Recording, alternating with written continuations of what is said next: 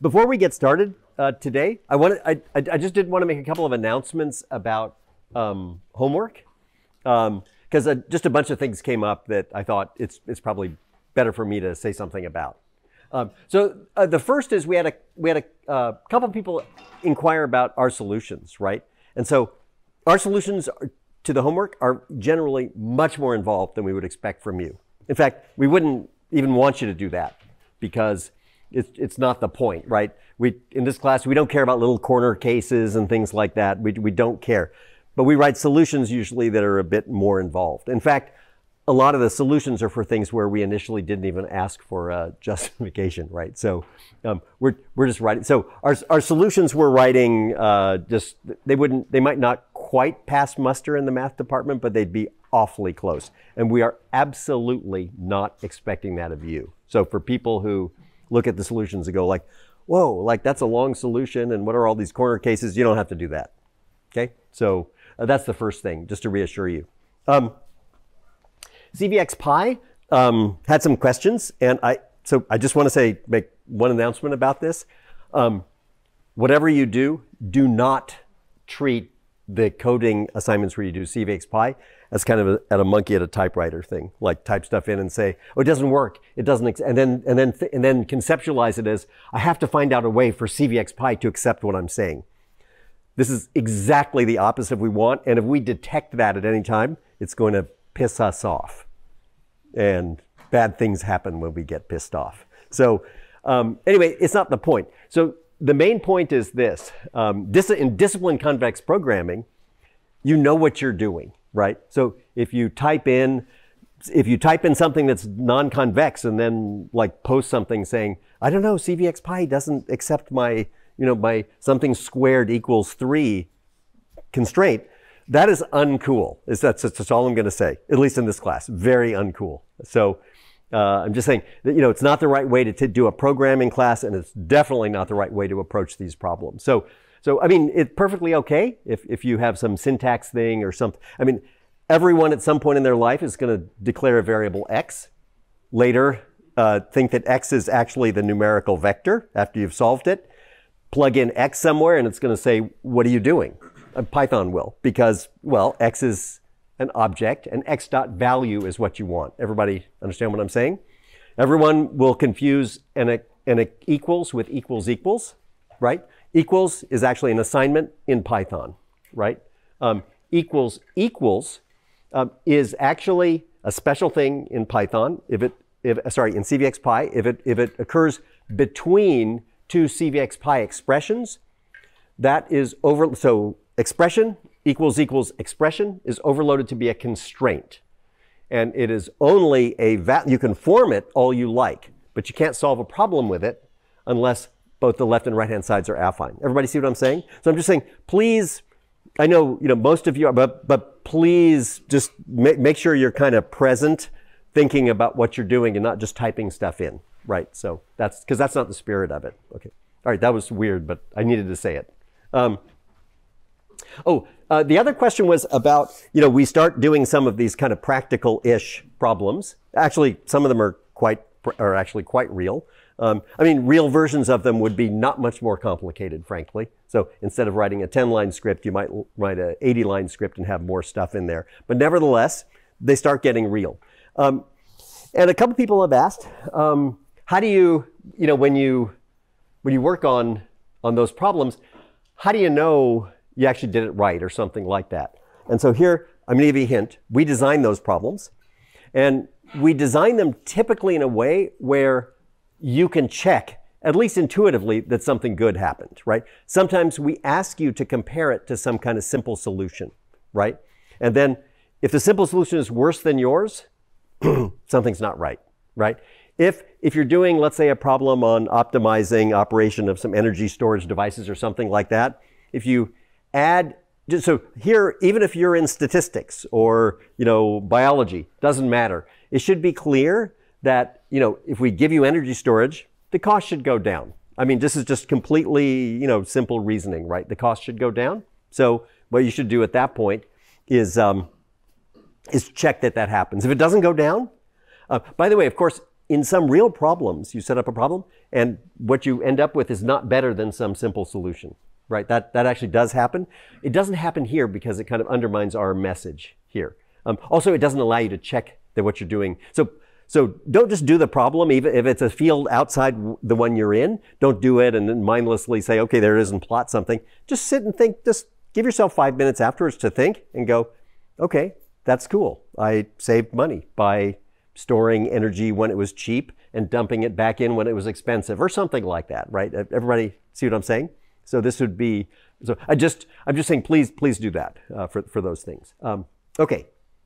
Oh, and the last thing is I had a, a bunch of questions and I, am not even sure I know how to answer them, but people have just said, I don't know how to approach these. And I just want to say a little bit about that. Um, so I, first I should tell you the design, uh, the design side, what we do on our side. Here's what we do. Um, so we don't do silly things like, you know, teach you, you know, duality and then say, find the dual of this. Because that's basically high school, like, you know, here's integration by parts. What's the integral of t squared sine t, right? Like, come on, this is ridiculous. I mean, not only could, you know, anyway, that's, that's just, we're not, we don't do that here, right? So the way we do it um, is we actually, you'll end up doing problems related to the material we cover. Um, sometimes in practical problems, and we won't use the words that appear. We won't give you a hint. Well, sometimes we have to, but sometimes we don't. So here would be an example. We have many stealth problems that actually will rely on duality, and we don't use the D word. Okay? Because the truth is, that's the way it's really going to go down. If you're at an internship if you are at a startup or something like that, no one's going to come up to you and say, oh, help me, help me. I think we can use like a theorem of the alternatives to, to solve this problem. That's not going to happen. What's going to happen is they're going to come to you and say, oh my God, this is so complicated. It's unbelievable. We have this estimator and that thing and these estimates and that, and we need to combine. And it'll go on and this is, you know, and it'll be some long, complicated thing. And your job will be to go somewhere quiet, think for a while, and go like, whoa, we can solve that, right? um, and it'll be through duality. So just just to let you know, that's that's what we call it that. That's using the ideas in the wild, and that's what we're interested in. We might give you a warm up or two that's you know in like a little sandbox or something, but after that, it's going to be in the wild. So watch out. Anyway, I just want to say that's the design of a lot of the practical problems. So um, what else was I going to say? Uh, maybe that that that's it. Any any any, any questions? about that? Yeah. Why in reality we can get a solution that is not as good as a principle? Oh, uh, yeah, I get, okay, so it's, uh, it, it wouldn't, if it's solving exactly the same problem, then of course that can't happen. So that, that, yeah, I, I shouldn't have said that. Um, it could be that you get no improvement. That would be, that would be one, right? And that certainly is, is a thing, right? You say, oh my God, I'm, this is so, I, I, got a great idea and I have the storage device, and it just doesn't help you at all, right? So yeah, I, I, I misspoke when I said that.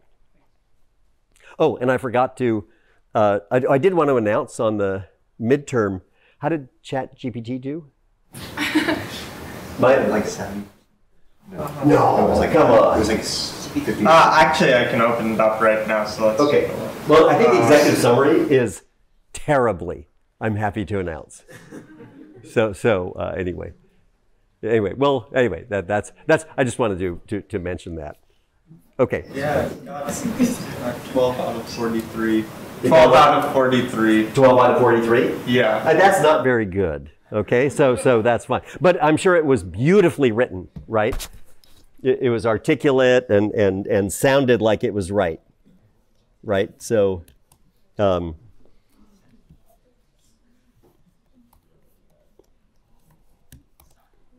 Okay, so we're gonna we'll get back today. We're going to finish off what is essentially the theory sec. Actually, in about 20 minutes, we're to finish off what is essentially the first section of the course, which is basically all the theory. I mean, as you can see, we've already segued into real stuff as well. Uh, then we'll start the second part of the course, which is just all applications, right? So that that's kind of the idea. Um, and then the whole idea, by the way, as I've said many, many times, we don't expect you to have a total mastery of all the theory we've covered, which is actually a lot. So what will happen, what will happen is as you do other practical problems in the next three, four weeks, um, hopefully there, that will be your excuse to go back and review something in the theory or learn it better. Um, and in fact, I know a lot of people say that after the, very weirdly, they say somewhere around the seventh week of the class, it turns out at that point, they really, they go back and they look at the third week and they're like, yeah, this is all obvious. Like, how could I not have known all this or something like that? So anyway, okay. So, uh, okay, the, one of our last topics is this question of duality and problem reformulations. And we looked at this last time, right? I, I think I drew a diagram and I said, here you have a problem and then I convert it to a new problem. So these are like equivalent. And of course, you can sort of take, you can take a dual, right? And this would be the, this would be a, the, a Lagrange dual of this one. Um, and what I should be careful what I'm saying there. Um, so you could, people say the Lagrange dual, but the truth is when people talk about duals, you have license to make a few small transformations of your problem right? And they still, and actually, sometimes you can do different ones, and then you get different duals, and they have like people's names. Like you could talk about the Clark dual of a QP or the Frank dual, and they're slightly different, right? And that that has to do with people doing uh, small, uh, making small changes, equivalence, you know, making an equivalence transformation, then taking a dual or afterwards. Okay. And then this one would have uh, a a dual right here, like that. Uh, I'll just write it this way, uh, like that, tilde, right? And anyway, so the, the question is, you know, how are these related, right? And, you know, I said that if you're, if you're trained in math, you will have an overwhelming urge to draw an arrow here and, and say that these are related in some way or something like that. I mean, they're obviously related because these two, they are, each one is the dual of two problems that are equivalent right? So assuming strong duality holds, which we will simply assume from now on without, I won't say anything else, right? Because this isn't a math class. I would say, then you'd say, look, they have the same optimal value and all that sort of stuff, right? So, okay. Um, it turns out this is just not the case. And we'll see incredibly simple examples where transformations give you radically different duals. Okay, so that's, uh, which is actually kind of interesting. All right, so let's start with uh, the following problem. So here's, here's one. Um, let's minimize a function of an affine function, right? And f0 is convex, right? So then, oh yeah, by the way, we didn't get to uh, talk about that. We didn't get to, let's cover the theory of Lagrange duality for problems with no constraints, right? So, okay, so what's the Lagrangian? Well, the, there are no constraints, so there's nothing to add to the objective. So the Lagrangian is nothing but the objective, okay? Then it says, okay, that's fine. And now let's find the dual function. Well, the dual function of the no, there are no dual variables because there's no constraints, but it's a dual function. And it says you should minimize this objective. Anyway, when you do that, you get P star. Okay? And then this is, okay. By the way, that is, it's correct, right? Uh, number one, let's observe, it's a lower bound on P star. And you have to admit that, right? It's also and completely and utterly useless, right? Because someone says to me, says, help me solve this problem. Actually, I, what I really need is a lower bound on the optimal value. And you go, I got a great lower bound for you. And you go, what? The optimal value, right? And it's like, you know, it's like, I, there's several jokes where the punchline is like that, those people had to have been mathematicians. And you, some people say, why? And they say, oh, because the answer was precisely correct and totally useless. Right, so have, has anyone heard these? I'm not going to reproduce, you've heard them. I'm not going to reproduce because they're all terrible. Anyway, but that's the idea. So that, that's what this is, right? Um, okay. Um, so now let's make an innocent transfer. Uh, we're going to make an innocent transformation from p to p tilde. And the way we're going to do that is we're going to introduce equality, uh, introduce new variable. So we're going to give this a name. That's going to be called y. And we're going to write this problem, which is, this is obviously equivalent to that, right? So that's, that's our P and our P, P tilde. This is P tilde. And now when I work out the dual of this, I get something that looks like that. And it's highly, it's, it's not useless. It's interest, you know, it's actually an interesting dual, right? Um, and I won't, you know, this is a, a quick calculation to show that the dual of this is if I minimize F0 plus nu transpose times this thing, I can express that in terms of the conjugate of the function, right? So, okay. Um, so this is kind of a, a, dramatic example saying that even the most simple, innocent looking transform, trans, if you apply an innocent transformation ahead of time, you get a radically different dual. Including in the first case, you get one that's just utterly and completely useless. In the second case, you actually get something that's interest that actually tells you something, right? So, okay. Um, we can look at another one just for fun. Um, is we'll look at the norm approximation problem, which we're going to look at later today. So that's that's choose an x to minimize norm ax minus b. And again, you know, it's kind of silly to talk about the Lagrange dual of a problem with no constraints, right? So in this case, we introduce constraints. Um, and the constraints we introduce are we give a name for ax minus b, and you get this kind of thing. And you end up with a very interesting thing, right? The, the, this is the norm. Uh, by the way, I could take the norm squared and I would get a different dual, right? So I'd get a completely different dual if I, if I took the square. Um, I'm not going to do it, but you might check into that. Um, and, and the dual, when you work this out, is this is the norm plus, then there's a constant over here, that's irrelevant. And then this whole thing here is a linear function of x and y. And if I look at y over here, uh, and I minimize this over y, what I get is the indicator function of the dual norm, right? So you end up with something that looks like this, right? Um, and so the dual or I should say like, you know, a, a, a dual of, in fact, some people would even say a dual of that problem is this. And then someone would say, no, the dual of that problem is just silly. It's maximize P star over no dual variables, right? Which is kind of goofy, right? So, um, but in fact, people would, would allow you this license and, and you get something here. And by the way, by now you should be starting to see patterns, which should be, you know, uh, when you see a function appear in the, in the, what's called the primal problem, then in the dual, you should kind of expect to see conjugates. Okay? So if your original function, for example, had like Kullback-Leibler divergence or relative entropy, then you should, even before you start doing any calculation, you should expect to see exponentials and log sum exp in the dual. And if it doesn't show up that way, then that's kind of a, you should maybe double check what you did. Everybody see what I'm saying?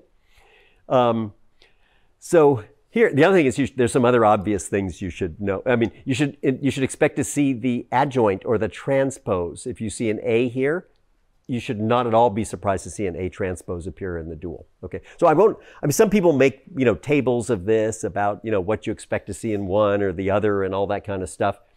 Um, I think it's better just to think of it as patterns that you should expect and you should you should so you, you should just be preloading. There should be things you should expect all of us. If you you know if your problem is involves l infinity norms the dual should probably involve conjugate of an l infinity norm or not conjugate you you should get an L, you should expect an L1 norm exactly right? So it's just it's stuff like that. Um, these are things that you'll, you'll you, you will see patterns. Okay um, this is what people refer to as something called partial, uh, the partial dualization or partial Lagrangian. What, what you do is, um, you know, here's an original problem. And uh, if you work out, uh, you know, it's, this is an LP. And when you work out the LP, you get something that looks like that. Okay? The dual of that LP, right? So another way to do it is to say, you know what? I am not going to dualize over this. People call that a box constraint, right? It's the constraint that all your variables are between plus and minus one. You see, I'm not going to dualize over it. Instead, I'm going to take this thing and I'm going to make an indicator function of it and plug it into C trans into the objective, right? So obviously it's equivalent, right? So this problem is clearly equivalent to this one, right? The, the difference is here you would say that the box constraints are explicit. Here, the box constraints are implicit because they're embedded in the objective and it just makes the objective return plus infinity if you're not if you're not feasible right? Make make sense? So all right well we can actually work out uh, lagrange dual of this. So here uh, here remember what happens is you form uh, you form a lagrangian. The lagrangian is actually an affine function of x. Then you minimize. But when you minimize an affine function you just either get minus infinity or you get or you get the constant part, but only when the linear part is zero, right? Um, here it's different because here I have to minimize uh, here um, an affine function of x subject to all the entries between minus one and one. That we can do analytically, right? Because the constant part, that's, my, that's nu transpose minus b, that pops out. And then here you end up with a linear thing, a linear function of x. It is in fact A transpose nu plus C, quantity transpose x. And we want to minimize that over all x's between minus 1 and 1. And this is, you know, like Cauchy-Schwarz, I guess is called the Holder inequality. And the whole that says the best choice is to take, you look at the entries of this vector. Whenever it is positive, you take x as minus 1, xi is minus 1, and whenever an entry is negative, you take xi equals plus 1. That will minimize, and the minimum value is going to be the sum of the absolute values with a negative sign, and so you get this. And, you know, it's, it's kind of cool. And so you could even say this box, so other people would say this box constraint problem um, has this simple dual here. And it, it kind of, everything's matching up, right? Uh, that, you know, you can think of this, this, you could have thought of this as the L infinity norm of x is less than 1. So then, using those weird, vague rules I said before, you see an L infinity norm, you should hardly be surprised if in the dual an L1 norm comes up. And sure enough, it did.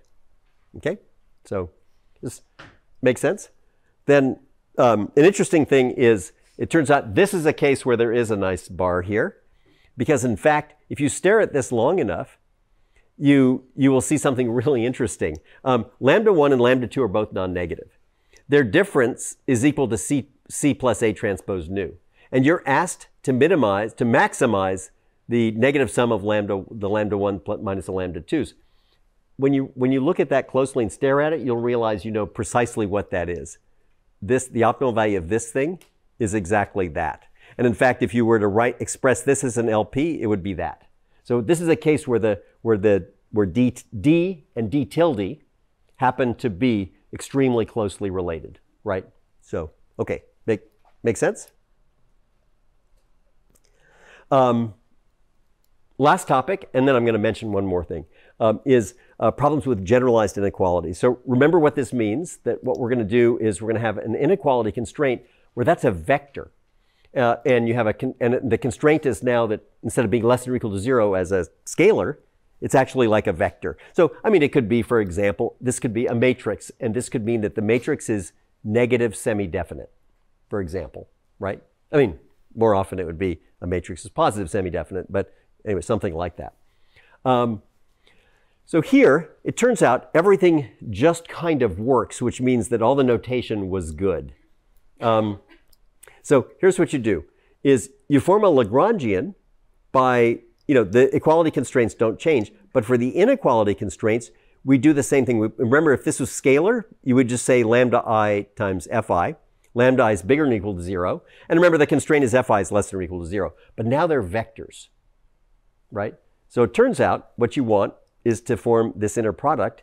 And, it, and what, what it's going to turn out is that lambda i should be actually uh, lambda i is going to have to be um, non-negative in the dual cone, right? Which again kind of makes sense here, right? So here's the Lagrangian, and then here's the the the the, the dual the dual function. Um, and then the lower bound property is the same, right? Because what happens is if these if these vectors are bigger if they're you know bigger or equal to zero in this in this uh, generalized inequality, right? Then it turns out that that uh, that dual function is a lower bound on p star, right? And the way you do that is it's identical to the other one. In the other one, there's no transpose. Lambda i is a scalar, fi is a scalar, and we use the deep fact in that case that the product of a non-negative number and a non-positive number is non-positive. Here, it is a little bit more, right? We're using the fact that if I give you a non-negative, a vector that's non-negative in the dual cone, and the inner product of that with a vector that is, did I get that right? Yes, non-positive in another cone, in that in the cone, then the inner product is actually less than or equal to zero, right? So it's not much more complicated, but that's it, right? And then you get a dual problem, and everything works later. Everything, everything just works. Um, and we'll look at just the last example of this. But it's kind of cool because this is stuff that, I don't know, 25 years ago, 30 years ago, no one knew this, right? Would have been just stunning. But here it is. Um, here's a semi-definite program. You're minimizing a linear function. I, I, get that maybe this is an inequality form, right? Subject to, this is called an LMI, a linear matrix inequality. It's supposed to look like a linear inequality, except these are symmetric matrices, the F's and the G. And that inequality there is with respect to the positive semi-definite cone. Okay? Then the Lagrangian looks like this. So here I have to take the inner product of what I would call lambda. Here I'm going to, instead of lambda, I'm going to call it capital Z. It's going to be a symmetric matrix. And you should read trace of Z times that's the, uh, the, the error, or, or, or, this minus that. Um, you should read that as the inner product. So this is basically what, what lambda transpose fi, or f1 of x would be. That's, that, that's how you should read this part. And here's the Lagrangian. And the dual says I should minimize this over x. I mean, it's complicated because these are, there's symmetric matrices flying all over the place. So, but it turns out this is simply an affine function of x, and the same story holds, right? If you minimize an affine function, it's going to be minus infinity unless the linear part vanishes, right? And so it, if, if it does, it says, you know, right, if I, if I look at the, if I look at how does this depend on x1, and the answer is it's c1, x1, that's from here, plus, and then trace z f1 times x1. And so those two added together have to be zero. Otherwise, if I take x1 going off to plus infinity or minus infinity, I, I can make this thing minus infinity, right? So, so you get this. And then you end up with this dual uh, semi-definite program, and it looks like that, right? So it says, you know, to minimize, you know, uh, so linear function over this LMI, this problem, this is this is this is now what it, it's dual, and it I don't think it's obvious. Like you wouldn't. Uh, I mean, if I, it's not difficult to, to show parts of it. Weak duality is, rel- is completely straightforward. Um, strong duality is not obvious, um, but that's it. So, okay, so that, that covers that. And again, you, you probably get some chances to do some of this on homework. Um, okay, actually, before I go on to this, I just want to mention one more uh, topic which we didn't cover in the lecture, but we're expecting you to know. Um, it is actually duality for feasibility problems. That's what it is. And the name for that is called theorems of the alternative. Um, and the way that works is pretty simple. Um, and I'll just say a little bit about it, uh, but you will encounter it. Um, you may, you'll, I think you're encounter, you may be encountering it now on the current homework. Is that, yes? Is, is there a, is there an option pricing thing Yes, sorry. You will be encountering it. Now, of course, I just gave that away, but that's fine. Sorry. Um, so, uh, but that's okay, right? So the basic idea is you write a feasibility problem as minimize zero subject to, you know, fi of x is less than zero. And let's make it convex. So, but it doesn't matter. Um, and uh, hi of x uh, equals zero, right? So there's your feasibility problem. This thing has optimal value zero if, they're, if, it's if these constraints are feasible. Otherwise, the optimal value is plus infinity, right? Because if it's not feasible, there's no x that satisfies this. And by completely standard assumption or definition, the infimum of the empty set is plus infinity. Okay? So, so this, this has either p star equals zero or infinity. And you can work out what the dual is. It's not complicated at all, right? And it's going to turn out you're going to get D star, and then think, interesting things are going to happen. This always holds. All, that always holds. Convex, non-convex doesn't make any difference at all. It always holds, right? And this would tell you some cool things. Like, for example, if this was, let's say this is a, a set of non-convex inequalities, right? But if I form the dual, and the dual, if I find the dual is unbounded above, meaning D stars plus infinity, what can you say? not feasible. Yeah, the original one is not feasible. I would say, well, how could you say that? That's, I'm sorry, that, that problem is like NP hard to determine if these inequalities are, are feasible, right? What would you respond then when I said that? Yeah, you just say, yeah, sorry, but it's completely elementary that this is a lower bound on the optimal value. And in fact, it would be good enough if I had, if I worked out the dual of this, if I found a point, you know, some lambda and news for the dual, and I evaluated it, and D star was equal to 1. What could you conclude? What do you conclude? Feasible. It's infeasible. And the argument would go like this, which is actually kind of interesting, right? That number is either zero or plus infinity. Okay? If I tell you one is a lower bound on it, well, hello, but now the only possible value for this is plus infinity. And that means precisely that your problem is, is infeasible. Everybody got this? Okay. So, I mean, that was just a whirlwind tour. You'll find, and these are generally called theorem of the alternatives because they basically say this set of, when it's, okay, in the convex case, it says this set of inequalities has a solution if and only if these, this other set does not. Everybody got that? I'm just giving you the big, high, you know, big, uh, broad strokes description of the topic. Everybody? And there's some famous ones, like for linear inequalities, it's called Farkas, the Farkas lemma or something like that, right? And this comes up in lots of different things. Um, uh, one is it's kind of the basis of most of a lot of classical economics and finance, right? Because there, everything would be based on the idea. I'd say, here's a bunch of stuff you can invest in. If you can invest in these things and never lose money in all cases, and, some at, and under some circumstance make money, that's called an arbitrage. Okay?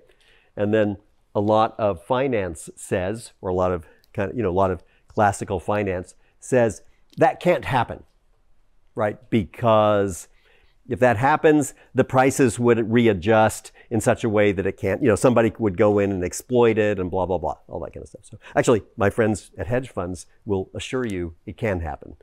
so, um, yeah, so, which is why actually, I know some, one of my friends there said there was one department in a back, in a, in a, in a person, in a candidate's background that they would just instantly throw it away. Economics. I was like, why? They said, oh, we'll take, oh, people in EE, we love it. Applied physics, oh, fantastic. Math, great. And I was like, why not economics? And they said, why? They looked at me and they said, why would we hire someone who's, you know, who comes from a field where the most deeply held belief, that where the entire thing is constructed on absence of arbitrage, he said, which is precisely what we do. So that, that kind of made, anyway, we all laughed. It was mostly a joke, but not entirely, I have to say. Sorry. Okay. No. Okay. Uh, all right. This actually finishes up like part one of the class, which is all the theory. Um, I mean, it's, it's already obvious that it's useful. And what we're going to do now uh, for the next like three, four, three weeks, I think, is we're going to look at um, applications, you know, broadly grouped. In, in, and you, what you'll see is after a while, they start all looking the same because guess what? They are all the same. So, so, but instead of doing it that way, we'll have some uh, organization. And actually, what you should be figuring out is just you're going to sort of just get the idea of things you can do, and then you'll be doing practical problems on them and all that sort of stuff. So we'll start with just approximation and fitting. Um, so uh, we'll start with some very simple ones. Norm approximation says, you know, uh, I have a matrix A and B that's data in the problem. Um, and you would like to choose X to minimize the norm of AX minus B right?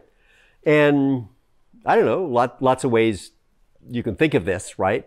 Um, so you could say that, for example, x star uh, is the point for which a x star, that's the point in the range of a that's closest to b as measured by this norm. I haven't said what the norm is. It's any norm, right? So that would be that. So you could do, you know, L1 approximation, L infinity approximation, right? Um, uh, in estimation, this would come up this way. It would, it, you would come up, uh, and this is uh, not yet with a statistical interpretation. So at first it's just, uh, just a common sense interpretation. And it would go like this.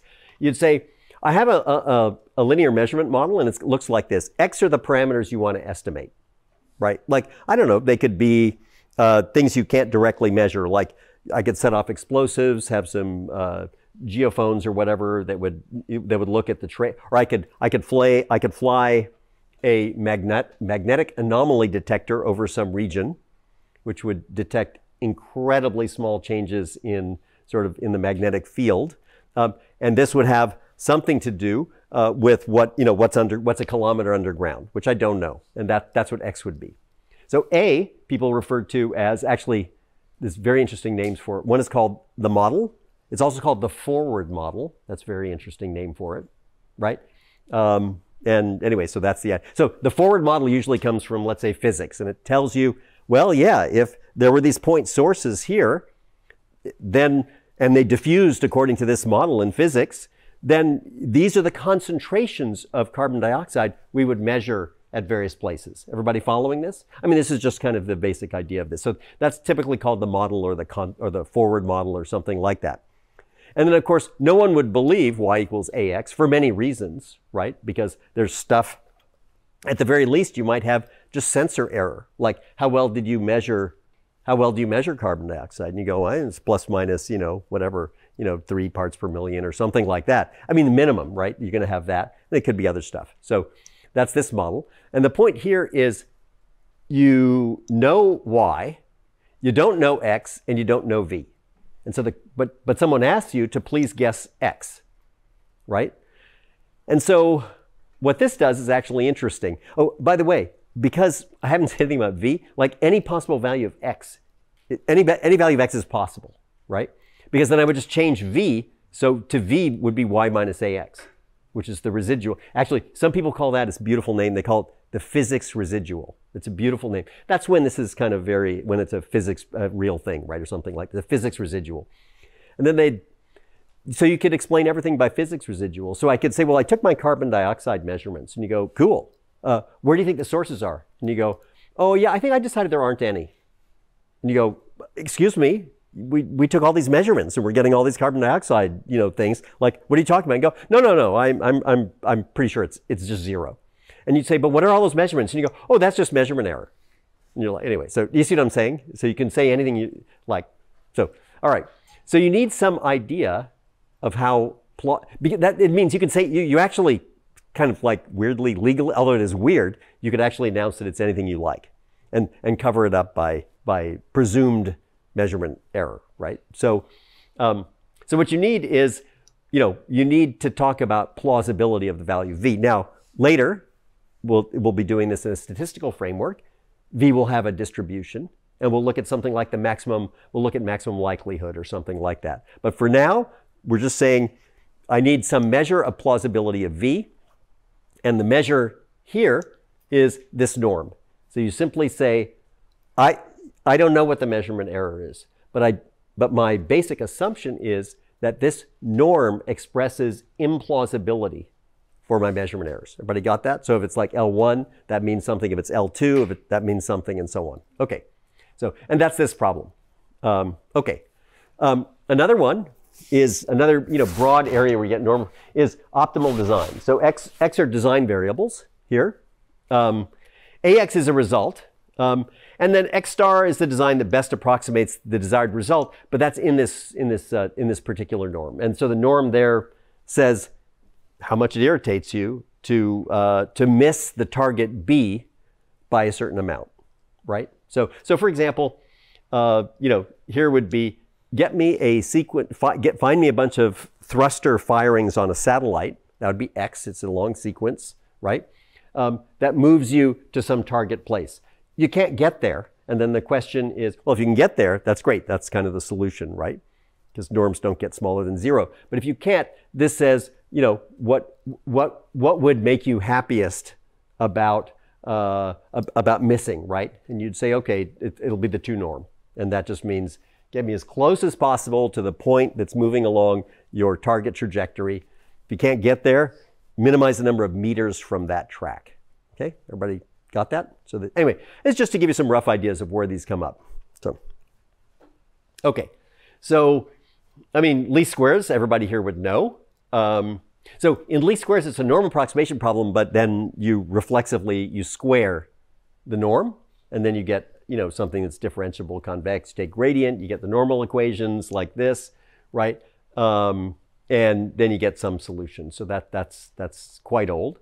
Um, when you use infinity norm, it's called Chebyshev approximation, and that's an LP, or, or I would say people, you, you can convert it to an LP, right? Um, yeah, you can have sum of absolute residuals. Um, that's even got a name in certain fields. Um, and again, that's also, uh, that's also can be converted to an LP. Um, by the way, um, people don't really need to know that now because in things like CVXPY, you just type, you literally, you just type these in. You literally, you write norm, you know, ax minus b comma one. That's it, right?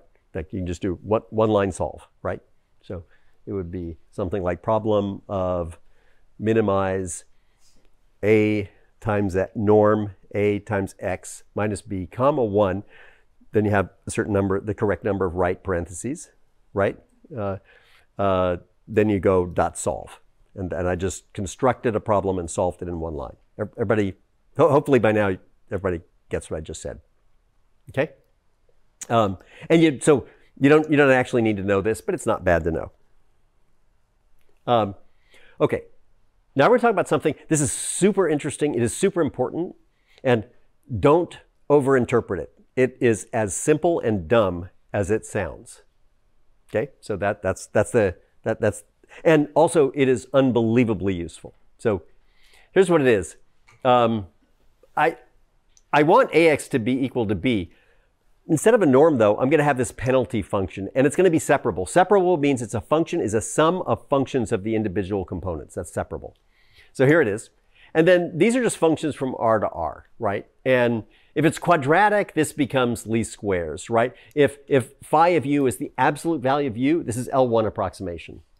But now we can do cool things like, um, let's see, this is, here's quadratic right here, this one. Um, here, here's a crazy one, dead zone linear. So I, th these are just, these are not standard names, but anyone would get it. Dead zone means there is a, a zone here where you just you don't care, right? And then outside that zone, the penalty grows linearly, right? Um, and here's another one, log barrier. That's that's this function here. It agrees really closely with a quadratic uh, for small values, but for large values, it actually it starts going up and it goes all the way to infinity. And outside some uh, some band plus minus a is just plus infinity. Okay, so one way, I, the way I actually think about these is you anthropomorphize all this. And it's actually kind of correct. So what phi is telling you is phi of r tells you how irritated you are for a residual of that size. That's, it's really that simple and dumb. And so, for example, if someone says, I'm doing this approximation with this penalty function, what it means is, for some reason, you don't, you know, errors that are between you know, plus minus A, how much do you care about them? None. Zero. You couldn't care less, right? Um, somebody want to give me a case where that would be completely justifiable? I mean, with a, I guess, a small a or something. Yeah. What's that? You're, you're trying to optimize uh, for delivery. This is plus minus one minute. You're, you're trying to optimize for what? Minimum delivery time, for example, like dot dash plus minus one at the end Okay. Yeah, I have, I'll, I'll, let me, I didn't quite get it. So, I mean, here's a very simple example is you measure something and the measurements are basically done with a five bit converter. And so what you get is only, there's only 32 possible values. So when you get a measurement, here's what you don't, what, what you get. I mean, sure, I tell you the number in there. I pretend that's the number. But in fact, any measurement in this little interval would have mapped to that. So what that says here is for the penalty. If I, if I represent that here, someone says why, and you go, uh, hello, it's a six-bit A to D converter. Like, so, uh, like, worrying anything, if I interpret any, any number smaller than that, or, or here, I'll, I'll go into dialect, smaller than my LSB of my converter, that was least significant bit, then you say it's completely fictitious and means nothing. Right? So that would be that. Okay. Yes? here rather than an inequality? Up here? Yeah. Yeah. Um, actually, uh, it, there is here. Yeah. Because I, I want to I want to measure the residuals. We could do the same thing with an inequality constraint here. If if you were, I mean, it's a bit stranger, but you could do that. You can certainly do it with an inequality constraint as well, right? If you'd say, I'd like these inequalities to hold, and then you'd say, yeah, but I have weird I have weird personal opinions about how much it irritates me to violate inequalities then it would be exactly an inequality. And everything would work the same. Okay. Okay. So we'll, we'll just look at a little example. Um, here, this is just like, this is a matrix which is 100 high, 30 wide. So you have 30 x's and 100 uh, basically equations, right? Uh, com generate completely randomly. So this is just, yeah, but, but this will tell you a lot. Um, So let's start with least squares. That's here. So if you do least squares, and then you look at the hist- then you look at the residual, the distribution of residuals, right? Um, then you know you see something reasonable, right? This shows you the penalty. This this this shows you how much it irritated you to have a residual at that level. And what you can see is, you know, this is obvious for a quadratic. You know, around in here, it's really small. Why? Because if well, if a quad for a quadratic, if an error, if a residual is small, the quadratic charges you small squared, and small squared is like very small.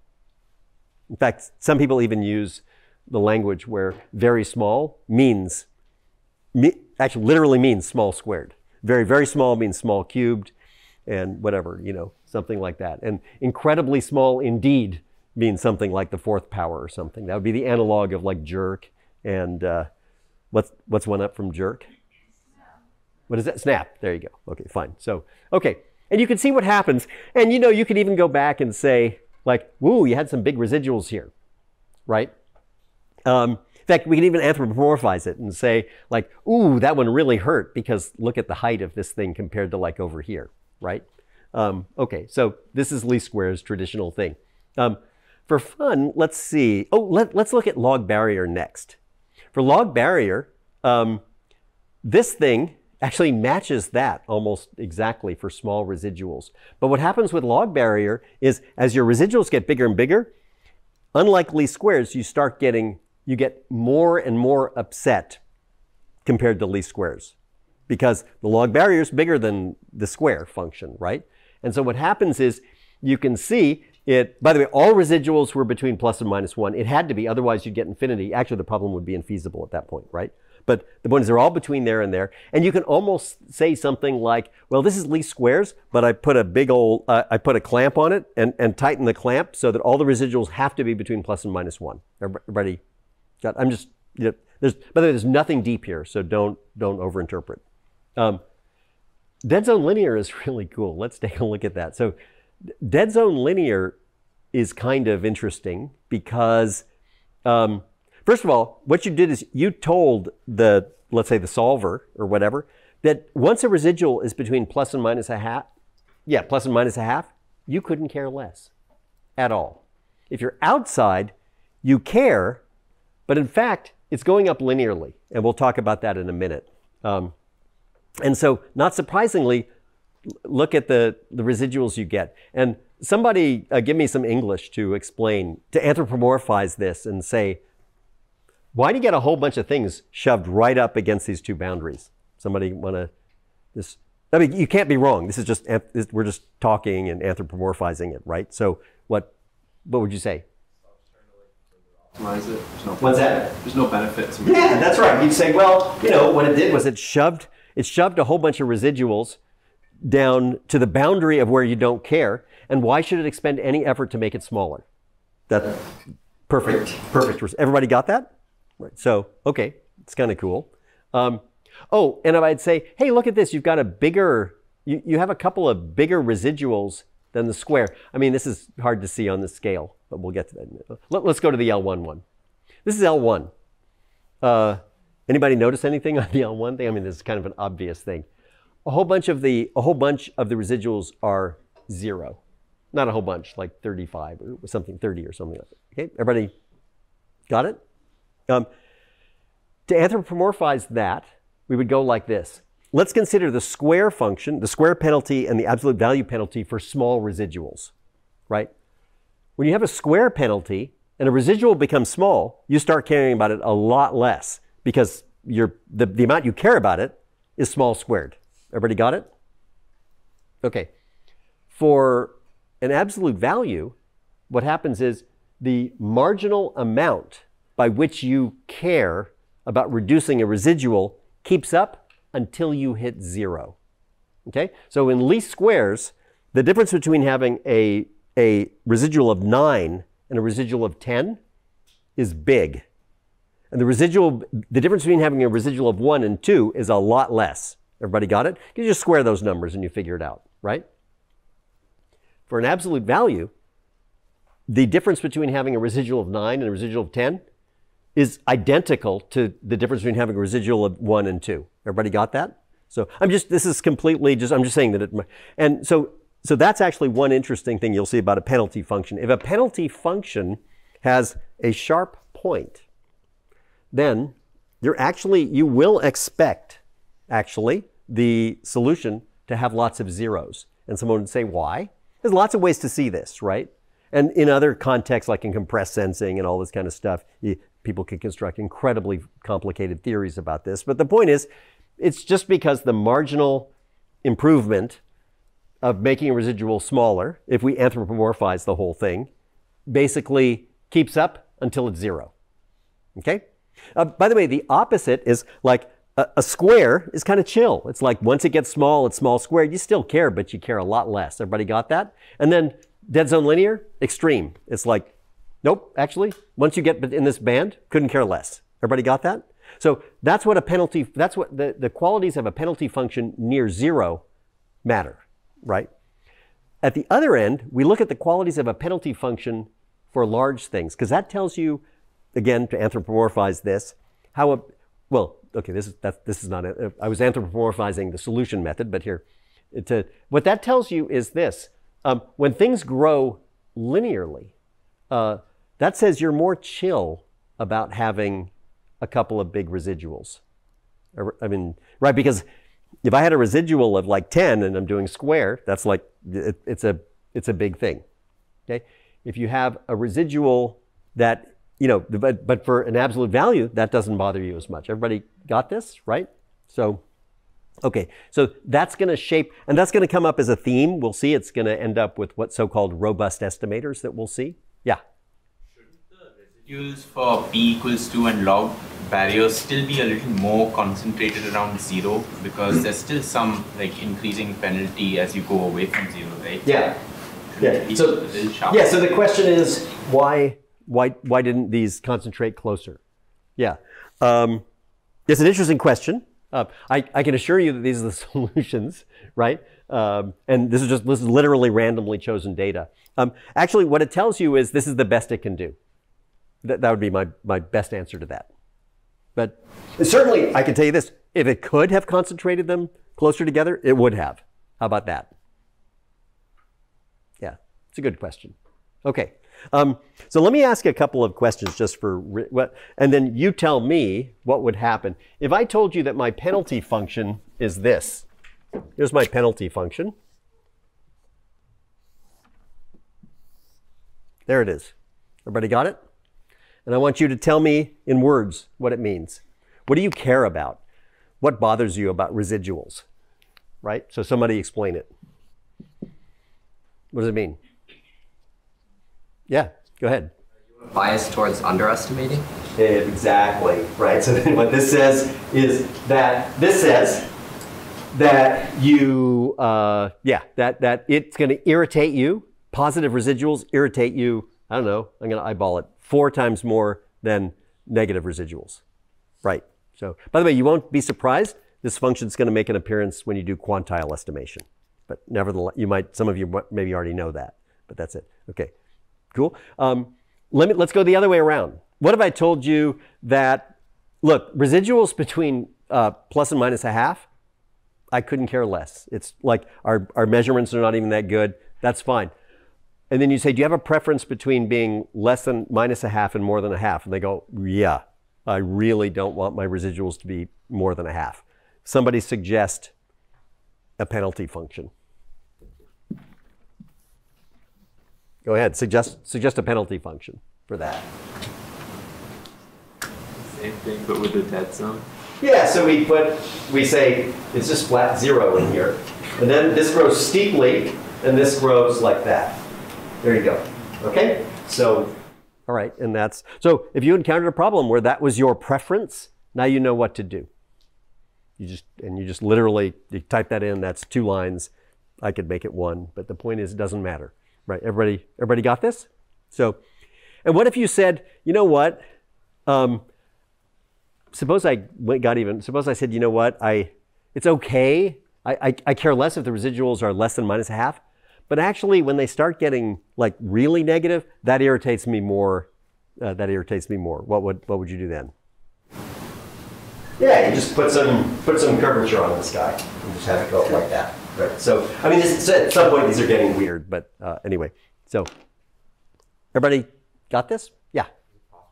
Piecewise residual? You can absolutely have a piecewise, you have a piecewise linear penalty function. Absolutely. Right? That's not not at all uncommon. Right? So actually that's a very common model of fuel usage. So comes up right there. Right. So okay.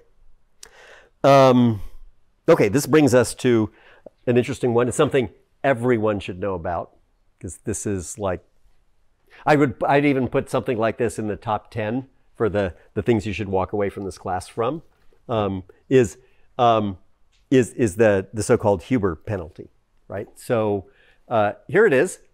It's quadratic up to a threshold m. Above that, it grows linearly. And so what happens is here, here's, uh, here's Huber, and right here at one, it transitions to linear. So it's got linear tails here. Now the quadratic would keep going up here, and it would be start getting really like at 1.5, it'd be 2.25, it'd be up here, right? So so quadratic, and then what does it mean? So somebody, you know, anthropomorphize this. If some someone says, "What are you doing?" You say, "I'm doing regression." What penalty are you using? Huber. Somebody explain what it means about how you feel about residuals in your regression model. What does it mean? Like just just just in words. I, don't- I don't want uh, no math. What would you say? Yeah. You more for smaller and as it gets bigger, your your Yeah, you say, look, I want to do least squares. You know, I kind of want to do least squares.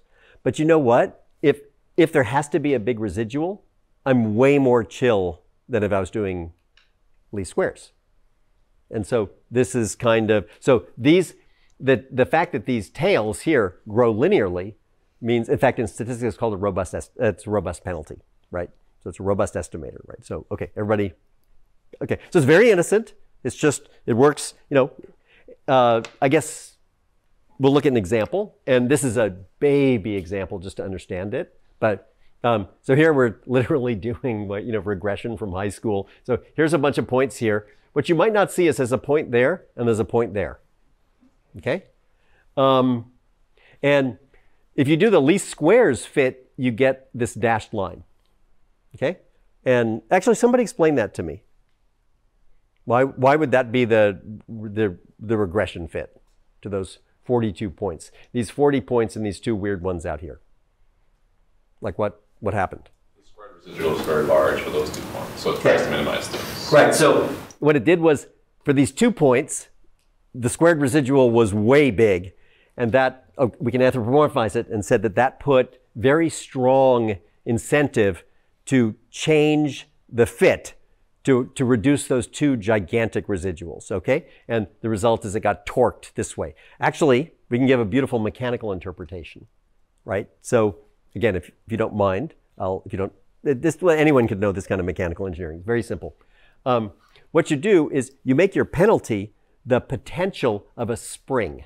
So a quadratic is what's called a Hooke spring. So you know you, you pull it out some amount of distance. Actually, it's a symmetric spring. You can pull it to the left, pull it to the right, and the potential energy is going to be the square of the displacement. Everybody got that? So what you should do is imagine this thing with wires on it and vertical springs that attach to it, and it's in mechanical equilibrium in least squares. That would be this. And someone say, "Whoa, how did it get torqued out there?" And you go, "You just said it. That's exactly what happened. There's a giant torque on that on that thing. Why? Because this is a spring. You imagine a spring here pulling this, and it's pulling it up. And there's a spring over here, and it's pulling it down. Everybody got it? right? And you say that, yeah, there's a bunch of stuff in here, but they're just, they're, those are just little displacements. They're putting a few newtons here and there on it, okay?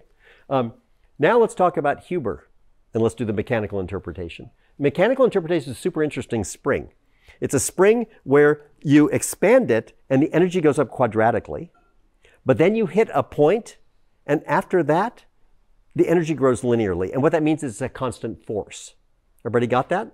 And so what happens here is that these springs are putting a, uh, a force on this, but once, once you hit the boundary, it's a constant force, not, one that continues to increase. Okay, so again, if that helped you, fine. If it didn't, just completely ignore it, uh, that, that interpretation. So everybody got this? So anyway, so what's obvious here? I mean, this is a note. This is like idiotic with you know points in R. You just plot things and whatever. In fact, for these things, you just draw a line through it, or it doesn't matter, right?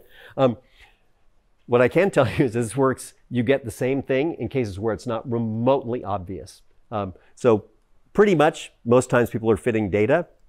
It should probably be done with Huber, not least squares. So just pretty much. Okay?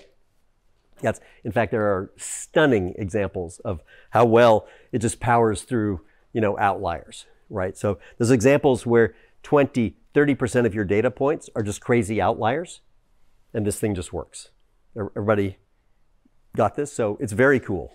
Uh, okay, so, you know, and, and it's named after Peter Huber, a statistician who described the, came up with a function, but reasoning from first principles about unknown distributions and blah, blah, blah, right? So, but anyway, but that's our, so our amateur interpretation is simply that you, he's using a penalty that matches least squares for small things, but then grows uh, much more uh, gently for large residuals. And another way to say it is it, it's cooler, it's let, it doesn't go crazy if there's a large residual trying to reduce it and then you get that kind of arrow, this, sorry, this torque on, on this thing. Okay, everybody got that? Okay. Um, we'll look at least norm problems. So least norm problems are, are similar, right? Uh, oh, I should mention every time I, we, we look at these things, we look at simple versions, but here are some things you know now. Um, we could do, you know, we, we could do, uh, here, go, go back to this and do nor, norm approximation. We can add convex constraints and everything is cool. So for example, you could do, you know, Huber monotonic regression. How about that? There's probably five papers on that. Okay? So someone tell me what is Huber monotonic regression? What, what would it mean? You use a, you just do regression, you use a Huber penalty, number one. And then the other thing is you add you add the constraints, which is x1 is less than x2, is less than x3, is less. Everybody got that? Okay, I, that is almost certainly super useful in some application. Everybody got it? Um, and and so we would you could anthropomorphize that and everything. So what and what would we would well yeah how would we how would we say it? You just say it's nothing. It's a QP or something, right? It's like it's absolutely it's just nothing. Like we know how to solve that, right? And then they would say, "Oh, I know a very fancy algorithm for solving," and you just say, "Stop, stop right there." Just just don't say anything else because you're just embarrassing yourself, right? Uh, we know 50 ways to solve it, and all of them are better than yours. So anyway, just leave it that way. Okay. All right. So I'm, I'm not saying stuff like that. So you can complicate these things as much as you like, or you could add non-negative. Okay, blah blah blah. Okay, fine. So let's go here. Least norm problems. Um, here you're minimizing a norm subject to x equals b. I mean, it, you know, it's the it's the projection of the of the solution set of ax equals b onto the origin, right? And, if you want to project it onto some other thing, yeah, go ahead and put an x minus and then some target, right? Um, in estimation, this says I have perfect measurements or really, really good measurements, but I don't have enough of them. And so in that case, you'd say, well, yeah, no, I, I, I actually, I have temperature sensors on, on, on that, you know, on, on that chip. And you say, and what's your you know, how good are they? And you go, oh, they're fine, more than we need. And you'd say, well, then what's the problem? And you'd say, well, the problem is I'd like to know what is the temperature at other points on the chip where I'm not measuring it. Everybody following this? That's, that's the problem. And that's the case where A is, A is, X is going to be the temperature at, at all, all the points. AX equals B um, is going to be telling you that these are the measurements you would get at those points. This agrees with your measurements, but you don't have enough to determine x. And so the question is, what's x? And so then you'd say, well, I need a measure of plausibility. And the measure of plausibility here is that the norm of x is small, right? Um, then that's estimation. And in design, this would be, these would, you'd think of these as uh, uh, constraints, right? Or requirements. And then you want to minimize the norm of this. So classic one is, for example, minimum fuel uh, you know, uh, motion from one from one one place to another, right? So move my satellite back where it's supposed to be, minimize the fuel. That perfect example, right? Um, or I don't know, could be all sorts of other stuff. Anyway, that's it. Everybody got this? So that these are the these are examples of just you know high level least norm problems, and least squares again. It's you know it's something you know. Um, you can do sum of absolute values. That's that as I've mentioned several times. That's an elementary model of fuel use in some cases. Um, you can also do a least penalty problem like this, which is really cool. So you'd say, here's my penalty. Um, that would actually be super useful because you'd actually go and ask somebody, uh, tell me about your thrusters. And they would say, oh, whoa, they're super sophisticated. And they'd give you a booklet this thick. You could just read this and you'll understand it. It depends on the fuel and blah, blah. It'd go on and on. Very sophisticated, right? And then you'd say, well, to produce a certain number of newtons, what's your fuel use, right? And then they would say, oh, yeah, no, there's a whole sequence of papers on that. And it'd be unbelievably complicated. I wouldn't understand any of it, anything. But at the end of the day, you'd say, can you draw me a picture, right? And it would almost certainly be convex, right? And that would be your penalty. And then you'd say, then when you do this, you're actually literally doing, you're doing something very close to actual minimum fuel uh, trajectory design or something like that. Everybody, everybody got this? So that's the, that's the picture. Um, okay. Um, now you can do regularized approximation, and th- these are ideas we're going to see in lots of other contexts, like statistical and others, right? So, but for now, um, so here you have a bi-criterion problem. So if you like, it's a vector optimization problem. You know, with if you want to be pedantic about it, you could say with over the cone r plus squared or something, right? And so that, that looks like this. You'd say, you know, I really want ax minus b to be small, but I also want x to be small. So that, that that's what this says. Um, and you know, and uh, est- estimation is. Uh, I mean, this, this we'll, we'll get into a lot of this later, but um, you know that could be you have a linear measurement model y equals ax plus v, and you could say, yeah, I, I, the noise here. I mean, my prior is that it's small, so it's small in some in, in, in this norm. These could even be different norms, by the way. In fact, they often are in applications, right? Um, then you'd say, oh yeah, but I also have a prior that x is small, and then that would be that would be this part here. Um, yeah, so yeah, so here, for example, if we were gonna not socially non-positive, but suppose I was going to you know work on a, a control a missile heading towards a target, and someone would say, well, what do you what this thing is is going to be uh, at the end, how close you are to the target, right? And so I'd say, how does that work? And they go, well, uh, okay, it wouldn't, in a, depends, right? Now there's shape charges and things get like insane, but let's ignore that. And you just say, well, my kill probability, this would be the things they would say, depends on the inverse square of the distance from the target and blah, blah, blah. This would be old school non-shape charges, right? And that would tell you that this should be a two norm in R3, right? It, it's how, how close do you get? Um, and then x, the, the, norm here could be something else, right? So, um, yeah. By the way, that would be a really good use for a penalty uh, right there, right? So as long as we're on a socially non-positive topic. Um, so here's one. Ready? You'd say, well, you know, what's your what, what's your penalty? And you say, oh, if you get within 10 meters, that's fine, thank you. And you go, how about two meters? And you go, uh, it's not going to matter. uh, you get within 10, then that's good enough. Thank you very much. Okay, so that's uh, anyway that that. And by the way, if you translate that into a penalty, what does that sound like to you? What is it?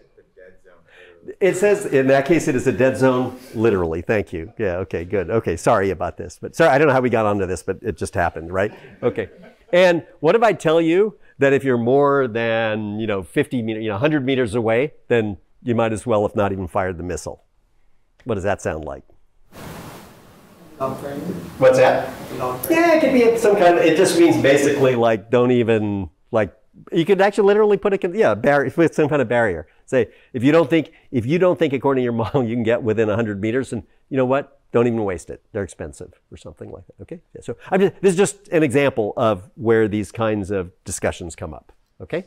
So okay. Um, uh, oh, a very interesting interpretation of this that we're going to come back to later is super cool. It's basically this. Someone says, why do you want, when you make this estimate, why do you want X small? Do you have a prior that X is small? And you're like, no, I don't. Then you go, but why do you want X small? The reason would be this. Here's another very good reason. you say, I don't really know A that well. You go, okay, cool. I mean, that's actually true in almost any application, right? I, I don't know A that well. And you'd say, so what's this thing about X being small? And you go, well, uh, if you don't know, if A can vary, right? If, if A can wiggle around and you don't know it that much, let me ask you a question. How much would that matter if you chose X equals zero? Not at all. If you made X really big and you have AX, and then A varies, what's going to happen to AX? What's that? It's big. Okay, so what it says is the following. You might want X small and someone would say why? And you'd say because look, in my model, X multiplies A. And you go, so? And you go, well, look at this. This, if A varies, since it multiplies X, right? The smaller X is, the less effect A varying has on AX. Again, this is unbelievable. I, don't try to re- don't make this sophisticated. What I'm saying, it's as dumb as what I'm saying. Everybody got this? So that's another very good reason why you want might you might want x to be small because it becomes in ax becomes less sensitive. Okay, we, we will see lots about this later. Okay, so okay, all right. Um, so how do you solve these kinds of problems? Well, again, we've seen this before in the general context. You scalarize uh, the problem, right? And many ways to do this um, is, uh, you know, the, if you just apply the most direct way, you do this. You refer to this as your primary objective, and gamma is uh, this is your secondary objective, and gamma weights the primary and actually it literally weights the secondary objective relative to the first. That's what gamma is here. People actually typically don't solve this. Um, instead, they would do something like that. And this has lots of names depending on who you hang out with, but it's Tikhonov regularization. I guess in Western statistics it's called ridge regression, I think. And it's got, it probably has other names, like, I don't know. Uh, okay, so, so, and it basically, uh, it says, yeah, I want AX minus B small and two norms squared. I mean, this has a immediate solution. It's like this thing, right? So, um, but that that would be it. And we'll we'll look at some interpretations of, of what that is and all that sort of stuff later. Okay. Um, all right. So our, our next example also is just going to show you this a baby example of how you would how you fiddle with the weights, right? Um, so actually, if you're doing statistical stuff, how do you how do you someone tell me how do you choose the weights? How do you choose like let's say delta here? In if you're fitting a statistical model. I mean, we'll talk about this later, but how do you how do you actually do it? There are wrong answers. Let's see. What, what is that? Cross validation. Ah, beautiful. That was the right answer. Good. Yeah. The, the wrong answer was to launch into some long theory about Gaussian and asymptotic this and that and blabber on and on. That was the wrong answer, even though those are interesting observations. And that's the right answer. Okay. So uh, it was cross validation, by the way, or just out of sample validation. Okay. We'll get, we'll get to that later. Okay. So this is another example. Um, by the way, a lot of times the scalarization is actually done by people and it's completely intuitive, right? Like you'd say, I want efficiency, but also ride quality. And you're like, well, how do they trade off? And you go, I don't know, show me some choices. And then somebody just makes a decision, right? So you don't have something as simple and obvious and defensible as cross validation there, right? So, I mean, I guess you could do weird experiments. You could put people in the car and they could they could finish a trip and go, whoa, oh, my back really hurts, but wow, it didn't cost very much the energy for that trip. Anyway, uh, you can't do that, I don't think, right? So that's not how it works, right? Um, okay, but this, this will be an example. In a lot of areas like, uh, unfortunately, in some areas like image processing, it's endemic where people just turn knobs until they like what they see. So it's fine. I'm not making fun of it, right? So, okay. Um, control is another one, right? Where they, they just make stuff up and it's fine. They, they turn knobs and then they like what they see. So anyway, um, all right. Um, so we'll do, this is kind of a classic problem. It's like optimal input design. So I have an input, which is a, in this case, it's a time sequence, U, and what comes out is another time sequence, Y, and they're just related by convolution. So this would be called in dialect a linear, in you know EE or something, ME dialect, it's a linear dynamical system or something like that, right? It's a linear system. And I think in math you would say it's a convolution kernel with uh, this, the H is the convolution kernel, and this is just the convolution, right? Um, so here's your job.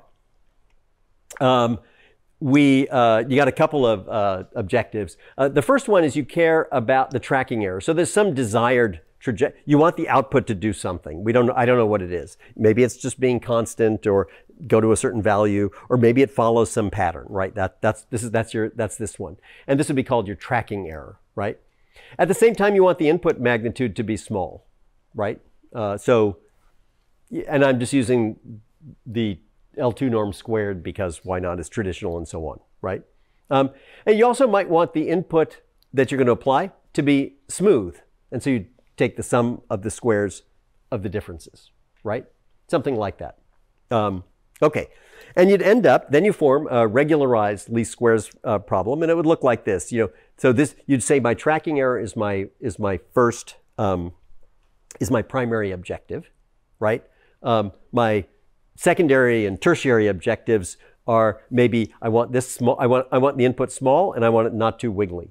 There you go. And then the numbers delta and eta here are the ones that tell you how much you care about the input being small and or wiggly compared to your tracking error, right? So, by the way, hilariously, the same problem comes up not just in control and mechanical engineering. You'd get exactly the same thing like in finance. Like you'd say, like your primary one might be I need to track this bond portfolio, you know, plus or minus 30 basis points or something like that. And this would be like, uh, I want, this would be like, in fact, instead of the derivative, you'd literally have what's, you'd, you'd literally have the, what they'd call the turnover, which would be the, the amount of trading you do, right?